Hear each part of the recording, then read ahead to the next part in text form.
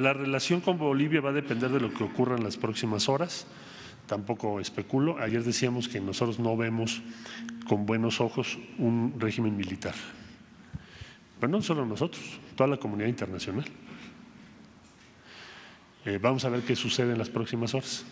Si Evo Morales nos pidió eh, asilo, no, México lo ofreció al conocer los acontecimientos.